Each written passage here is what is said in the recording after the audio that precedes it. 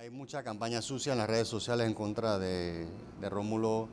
eh, y eh, querían bajar el tono. No es un endorso a, su, a él como candidato, aunque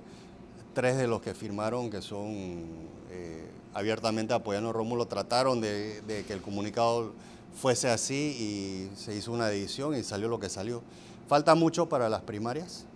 y yo creo que lo principal que Cambio Democrático tiene que seguir jugando su rol opositor, una una oposición beligerante de altura y no hacer oposición cariñosa como están haciendo unos aspirantes a presidente. ¿Y la bancada está jugando ese, papel de oposición beligerante? Claro que no, nada más hay que ver la entrevista que se dio ayer, que ustedes publicaron de uno de los diputados de Cambio Democrático que defiende más al gobierno del presidente Varela, un gobierno que tres de cuatro panameños piensan que ha sido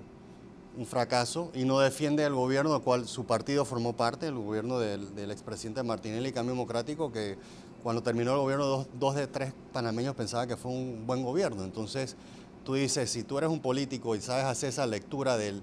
del sentir del pueblo panameño, ¿cómo estás apoyando o defendiendo un gobierno que la mayoría del pueblo no ve favorablemente?